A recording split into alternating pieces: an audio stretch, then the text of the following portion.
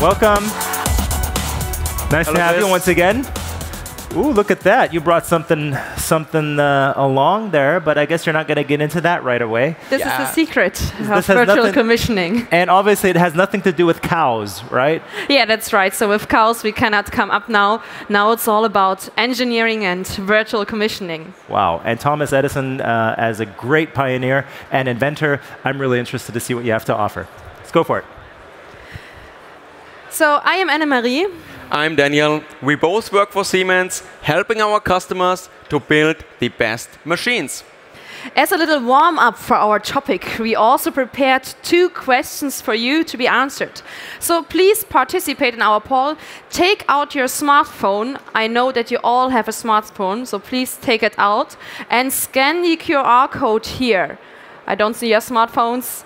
Please, we need your support. Go to menti.com and enter the poll code or scan the QR code with your smartphones. Okay, we give you two seconds more in order to come to the poll. And I think everybody is on track now, so then let's have a look at the first question. Oh, um, does it work? Yeah, it works. Perfect. Okay, so there was a little error, but we did not produce any error costs, no problem. So here's the first question Are you able to repair a toaster? Hmm, actually, this is a good question. So, Daniel, are you able to repair a toaster? Um, I never had a broken toaster at home, so. But thinking of a toaster, it shouldn't be too complex, or? So I believe in myself, and I say, yes, I can repair a toaster. Hmm. So here's a good one. Let's have a look at your results. And whoo, okay, it's almost equal. The majority of you is not able to repair a toaster. Come on, guys. I thought you're engineers. no, I'm just kidding. I would also struggle, but I know with helping of virtual commissioning and testing, I could improve my toaster repairing skills. So coming from a simple thing like a toaster to a more complex one, our everyday lives. And I have another question for you.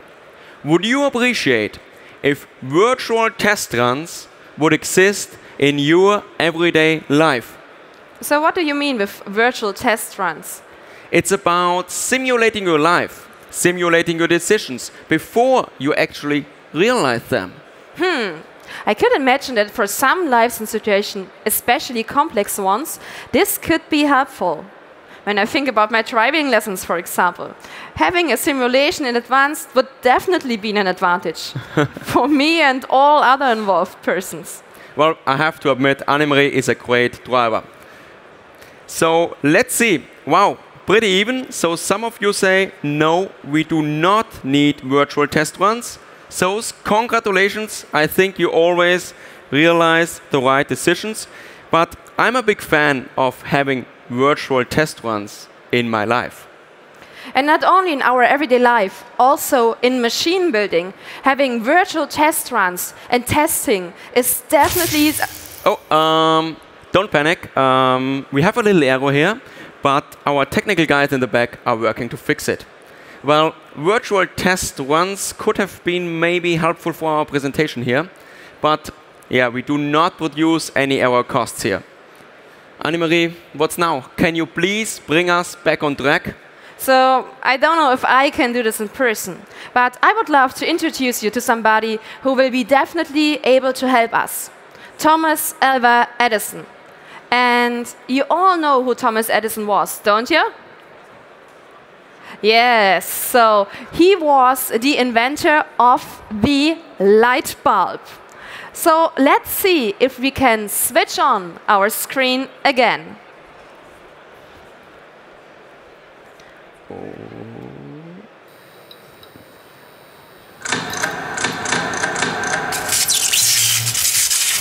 Perfect.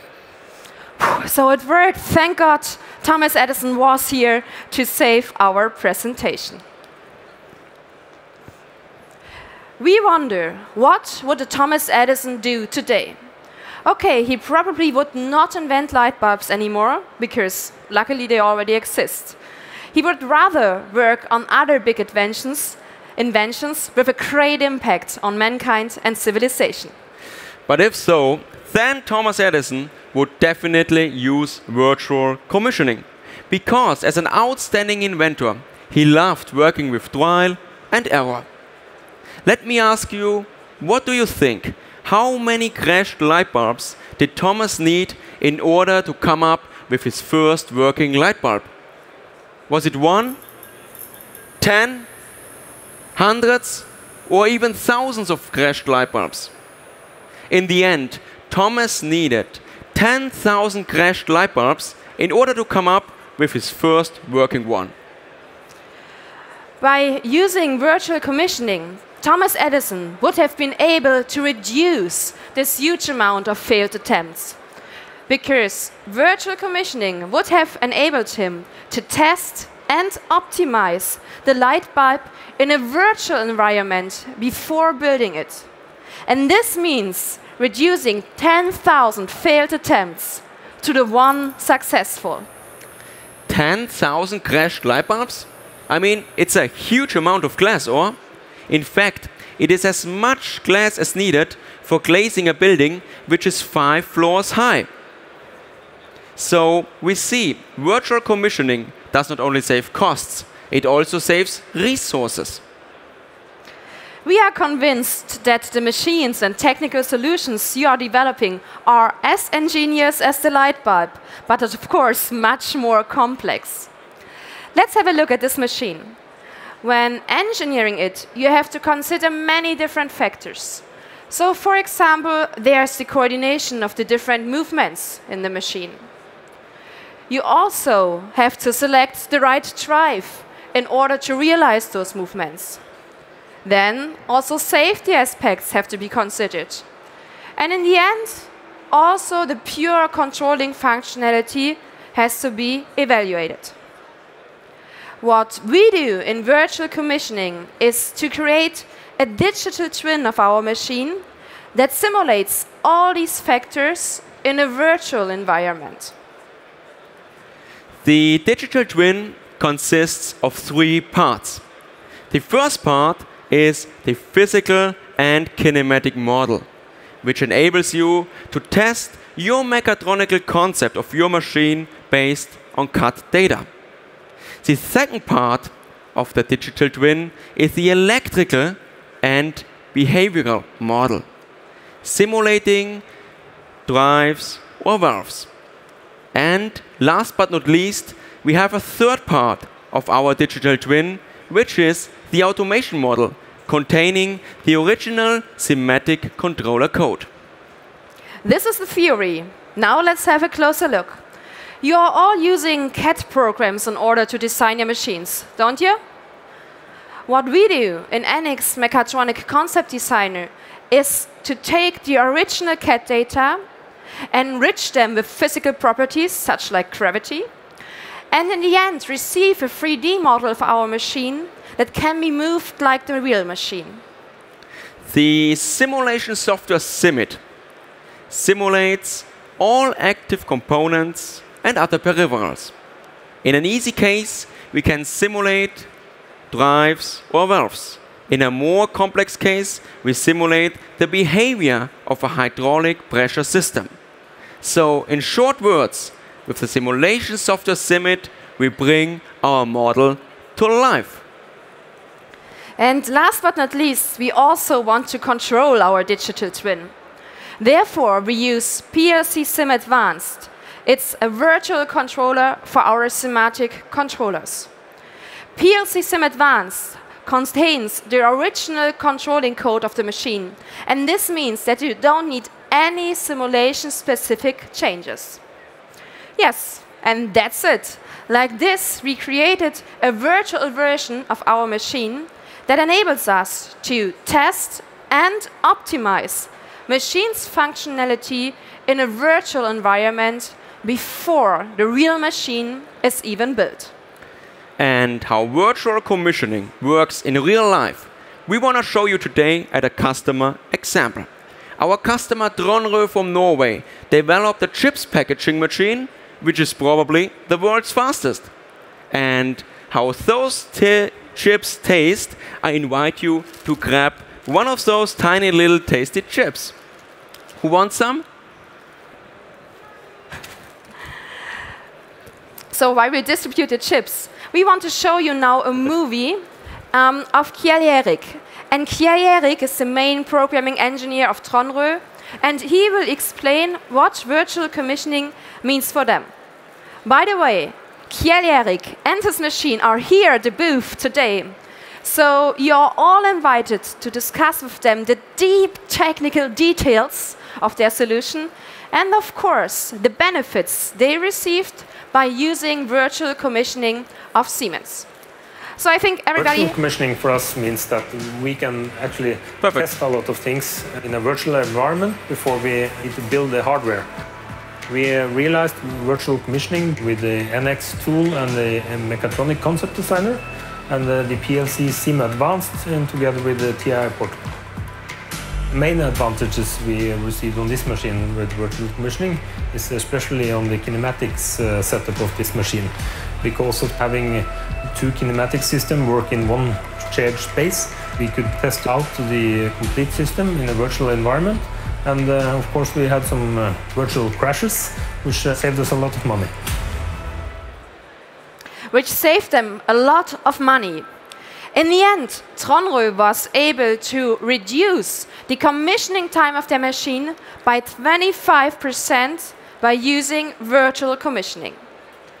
But it's not only about the testing of software, it's much more. Development processes that used to run in serial before at Tronrud run now in parallel. And like this, Tronrud changed their development to an agile working mode. This enabled them to reduce the overall development time of the machine by 50%.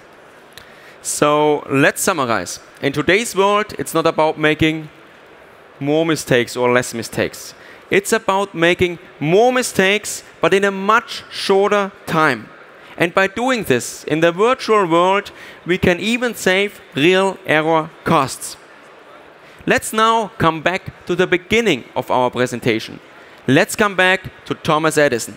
Even he followed this agile principle because he said it's better to tackle imperfectly than to hesitate perfectly. And this is why we invite you to talk with us about your failures. You all know the so called fuck up nights. Sorry for the effort here. It's the same principle. Companies can learn most from their failures, only that we recommend to do those failures in a virtual environment instead. So, by implementing virtual commissioning, you will reduce your error costs. You will shorten your development times, and like this, bring your whole engineering process to the next level.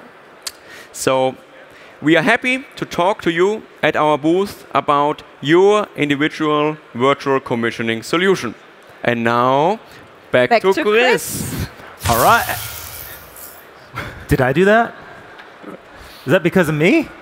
I don't think so. We had some troubles before, so. But I'm, I'm convinced you can fix it. You think I can do that? With the light bulb. Give it a try. All right. Um, here we go.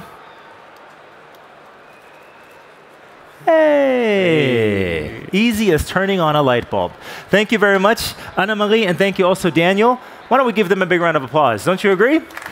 Great show here, part two of the No Show, going from no virtualization to go virtualization, and we will talk about going. Where do we go if we want more information? So, as I said before, we have the machine here at our booth, and here you can see the booth plan. So, use the last 10 minutes uh, to inform yourself or come back tomorrow, and you will find us here in the marked area. Siemens. Ingenuity for life.